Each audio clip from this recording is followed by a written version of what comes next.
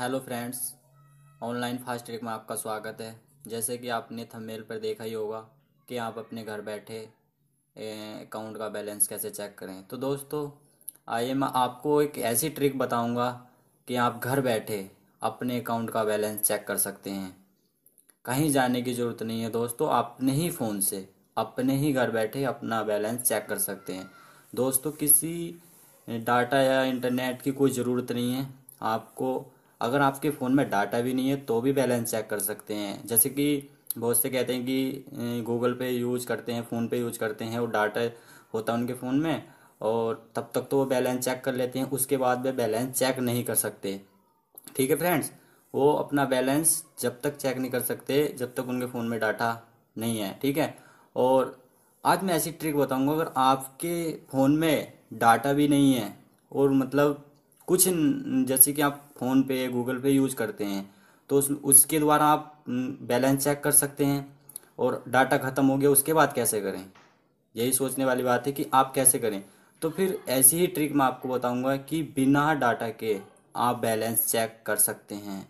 तो दोस्तों, आइए चलते हैं। मैं आप, आपको अपने ही फ़ोन से ऐसी ट्रिक बताऊँगा कि आप अपना बैलेंस चेक कर सकते हैं। अपने ही फ़ोन से चेक करके बताऊँगा कि कैसे चेक करना है। तो दोस्तों, चलते हैं। बस शर्त एक है कि आपका जो बैंक अकाउंट में वो नंबर लिंक होना चाहिए और वो आपके पास ही होना चाहिए। उसी नंबर से सारा प्रोसीजर होगा अन्यथा आपका बैलेंस चेक नहीं होगा।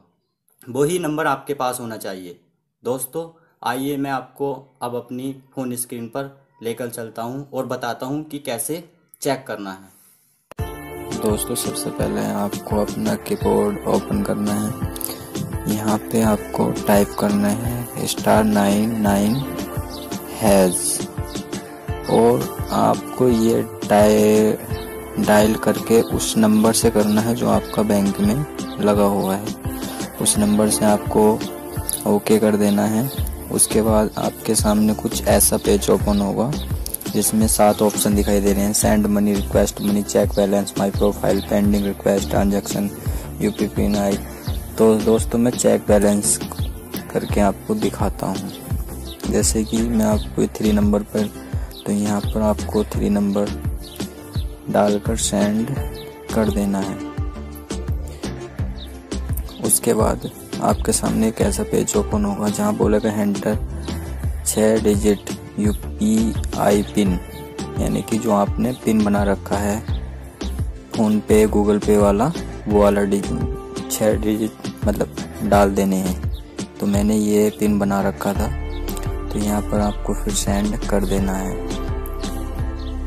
उसके बाद आपका जो बैलेंस है, वो चेक हो जाएगा। जैसे कि आप देख पा रहे हैं आपका बैलेंस हो गया है your account balance is just मेरा बैलेंस छः सौ बहत्तर रुपये है। दोस्तों, आप भी अपना मतलब कि जितने ऑप्शन दे रखे हैं, आप भी चेक कर सकते हो।